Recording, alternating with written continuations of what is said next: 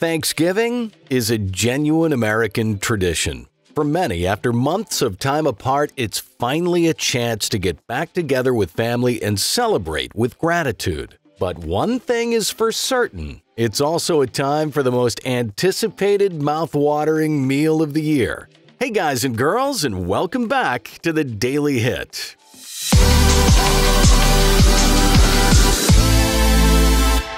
Be sure to hit that subscribe button and click the bell icon so you receive notifications when our latest videos are released. Today, we're talking turkey with some fabulous Thanksgiving meal ideas. And be sure to stick around for the end of the video to see a dream come true dessert recipe that'll blow your mind. Let's load up our plates. Up first, Thanksgiving salad.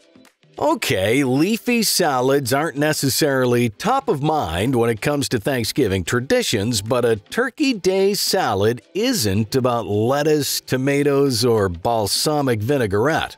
For a Thanksgiving salad, incorporate the fall harvest. We're talking about Honeycrisp apples, tasty onions, butternut squash, kosher salt, toasted pecans, cranberries, romaine hearts, crumbles of sharp cheddar, and fresh green beans smothered with olive oil. Remember to garnish with some white wine or apple cider vinegar and a touch of honey for smooth sweetness.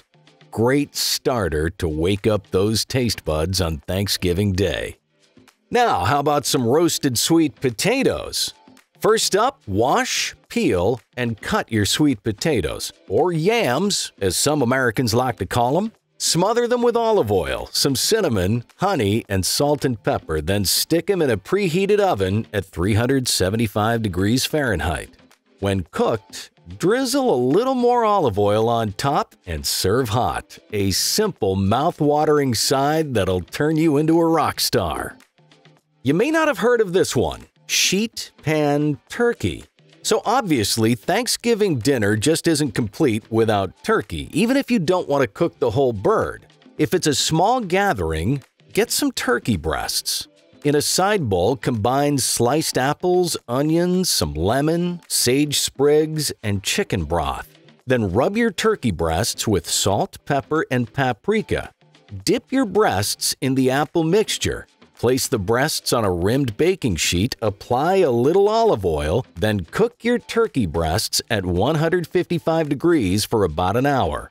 Welcome to quick and easy, juicy and delicious sheet pan turkey. It goes well with sage leaves on top and a little melted butter for dipping.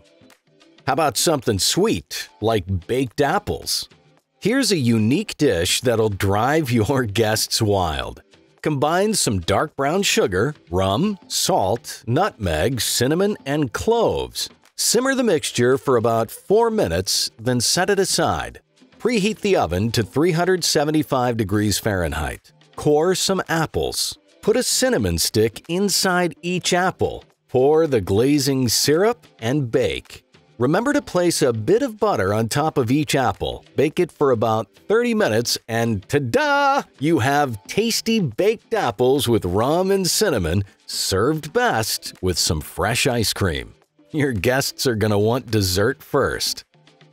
Now let's talk main course, the Thanksgiving turkey. So let's say the entire family is coming and you're cooking a large bird. It's never simple, Roasting a turkey is a skill that takes time to master, just ask Grandma.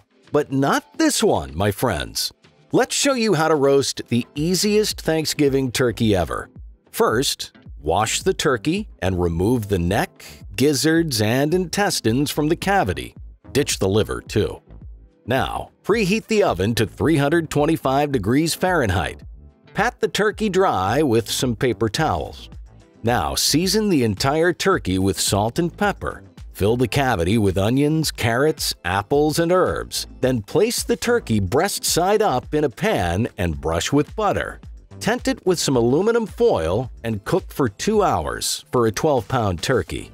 Remove the foil, add some more melted butter, and bump the oven temperature up to 425 degrees Fahrenheit. Roast that turkey for another hour and done.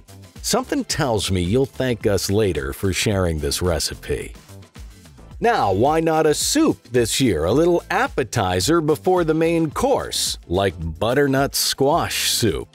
First, add some olive oil to a pan. Add some onion, garlic, sage, and 1 teaspoon of salt to the pan.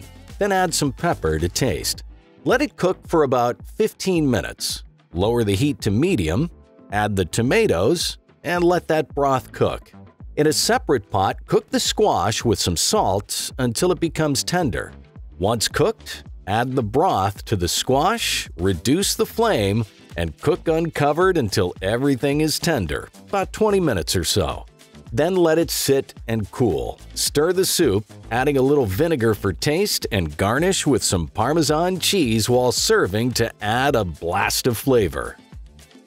And finally, pumpkin cream pie, the piece de resistance, the capstone of your Thanksgiving meal, the dessert that defines the season. So how is this masterpiece made? Well, first, preheat the oven to 325 degrees. Combine some cream cheese, pumpkin puree, cream, brown sugar, and pumpkin pie spice. Add two eggs one by one and mix it all together with a mixer. Pour the filling into the pie tray. Place it on a baking sheet and bake for about 50 to 60 minutes. Then remove the pie from the oven. In a chilled bowl, mix heavy cream with a hand mixer until it begins to thicken. Add some brown sugar and pumpkin pie spice and beat until soft peaks form. Spread this on top of the pie, chill in the refrigerator for two hours, then serve at the end of the meal. Mmm, Pumpkin Cream Pie, the perfect climax on Thanksgiving. So, which of these Thanksgiving dishes is your favorite? Will you try any of these this year? Do you have a better recipe? Tell us in the comments below. And most importantly, happy Thanksgiving. Here's hoping you're surrounded by friends, family, great food, and make memories that'll last a lifetime. We're certainly grateful you spent some time with us watching today's video. Be sure to hit that like button if you enjoyed it. And stay blessed. We'll see you next time right here on The Daily Hit.